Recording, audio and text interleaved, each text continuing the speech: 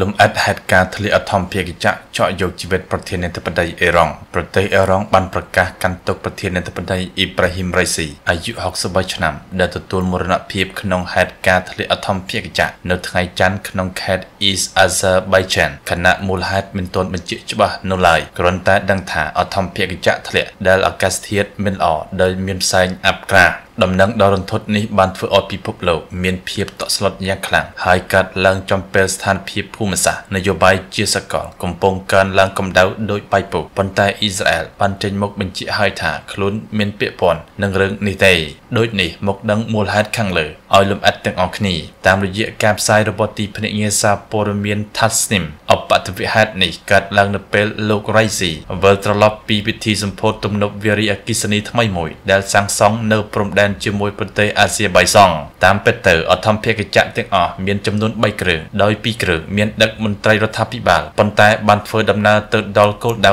ដោយសុវត្ថិភាពអកុសលតែអធម្មភាគចក្រមួយគ្រឿងដឹកលោកប្រធានាធិបតីនិងរដ្ឋមន្ត្រីការបរទេស Hossein Ame Abdullahin ព្រមទាំងអ្នកមុខអ្នកការផ្សេងទៀតបែរជាត្រធ្លាក់នៅក្នុងតំបន់ជួរភ្នំដាច់ស្រយាលក្រៅពីប្រធានាធិបតីនិងរដ្ឋមន្ត្រីការបរទេសមនុស្សស្លាប់ផ្សេងទៀតក្នុងហេតុការណ៍នេះមានដូចជាលោក Ayatollah Mohammed អាលីអាឡេហា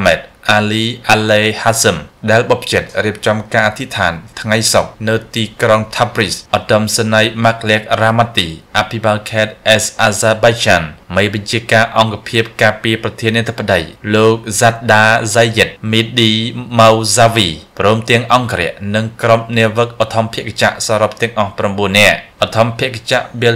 212ដែលដឹកលោកប្រធានាធិបតីគឺជាអធម្មភាគចក្រផលិតដោយសហរដ្ឋអាមេរិកចំនួនថ្មីប៉ុន្តែមានជាប់ស្រែស្រឡាយជាមួយអធម្មភាគចក្រផលិតក្នុងទសវត្សរ៍ឆ្នាំ1960មកផ្លែហើយអធម្មភាគចក្រនេះមានសមត្ថភាពផ្ទុកមនុស្សបាន15នាក់រួមទាំងអ្នកបើកងាកទៅមើលការស្លាប់របស់លោក Raisi ឯណោះវិញ យោងតាមរដ្ឋធម្មនុញ្ញរបស់ប្រទេសអេរ៉ង់បើប្រធានាធិបតីស្លាប់នៅក្នុងតំណែងមាត្រា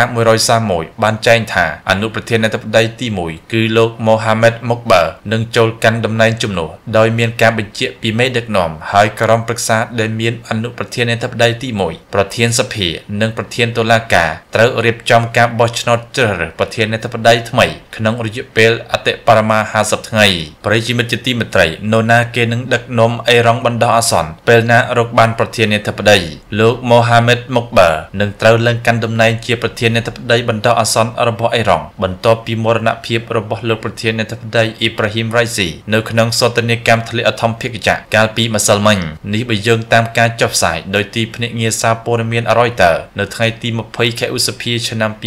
2024តួនាទីរបស់លោកមុកបើនឹងទៅចូលរួមជាមួយសមាជិកក្រុមប្រឹក្សាអេរ៉ង់ចំនួន2រូបទៀតគឺប្រធានសភា និងប្រធានតុលាការដើម្បីរៀបចំការបោះឆ្នោតជ្រើសរើសតាំងប្រធានាធិបតីថ្មីនៅក្នុងរយៈពេល50ថ្ងៃខាងមុខដូចគ្នាទៅនឹងលោករ៉ៃស៊ីអញ្ចឹងដែរលោកមុកបើក៏មានទំនាក់ទំនងយ៉ាងជិតស្និទ្ធជាមួយមេដឹកនាំកម្ពុជាអេរ៉ង់គឺលោកអាលីខាម៉ានីអ្នកនយោបាយវ័យ69ឆ្នាំរូបនេះបានឡើងកាន់តំណែងជាអនុប្រធានាធិបតីទី1នៅក្នុងឆ្នាំ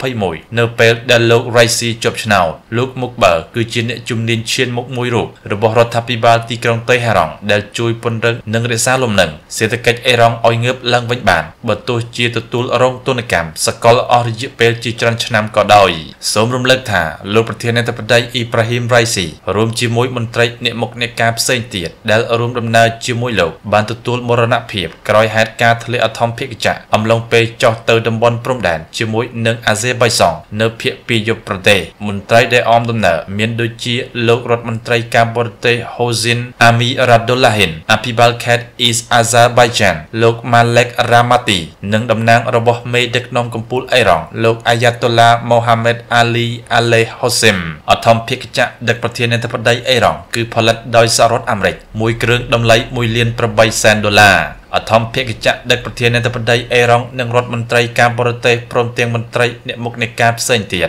ដែលធ្លាក់ស្លាប់មនុស្សជាង9នាក់នៅតំបន់ភ្នំក្នុងខេត្ត East Azerbaijan គឺជាប្រភេទយន្តហោះ Bell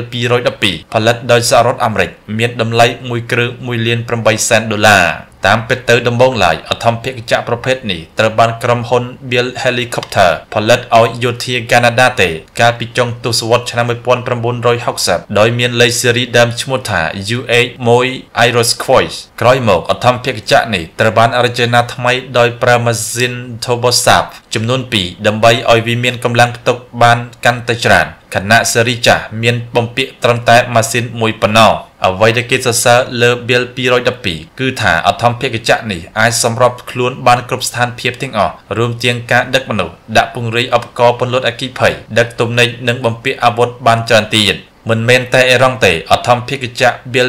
212នេះក៏ត្រូវបានប្រទេសមួយចំនួនទៀតប្រើប្រាស់ផងដែរ តួយ៉ាងដូចជាឆ្មាំសមុទ្រជប៉ុនភ្នាក់ងារអនុវត្តច្បាប់និងនាយកដ្ឋានពន្លត់អគ្គិភ័យអាមេរិកនិងប៉ូលីសជាតិថៃជាដើមទោះបីជាយ៉ាងណាក៏ដោយគេមិនច្បាស់ទេថាតើរដ្ឋាភិបាលអេរ៉ង់ប្រតិបត្តិការអធម្មភាគចក្រប្រភេទនេះសរុបប្រមាណគ្រឿងប៉ុន្តែបើយោងតាមបញ្ជីកម្លាំងទ័ពអាកាសពិភពលោកឆ្នាំ2024របស់គេហទំព័រ Fly Global បានបង្ហាញថាទ័ពអាកាសនិងកងទ័ពជើងទឹកអេរ៉ង់មានអធម្មភាគចក្រនេះសរុបចូលគ្នាចំនួន10គ្រឿងសូមបញ្ជាក់ថាមុនគ្រោះអកុសលឆក់យកជីវិតមន្ត្រីជាន់ខ្ពស់អេរ៉ង់ហេតុការធ្លាក់អធម្មភាគចក្រ Bill 212លើកចុងក្រោយបំផុតគឺកើតឡើងក្នុងខែកញ្ញាឆ្នាំ2023ដែលកាន់នោះគឺការធ្លាក់អធម្មភាគចក្រឯកជននៅឯឆ្នេរសមុទ្រនៃប្រទេសអារ៉ាប់រួមប្រិយមិត្តជាទីមេត្រីតាកតទៅទៅនឹងព័ត៌មាននេះក៏ត្រូវបានបញ្ចប់តែមុននឹងបញ្ចប់ក៏សូមខន្តីអភ័យទោសក្រែងលោមានពាក្យពេចន៍លឺលួសខ្វះខាតដោយប្រការណាមួយសូមប្រិយមិត្តអធិស្ឋានហើយក៏សូមជួយចុច Like និង Subscribe ដើម្បីទទួលបានវីដេអូថ្មីៗបន្ថែមទៀតសូមអរគុណនិងសូមជម្រាបលា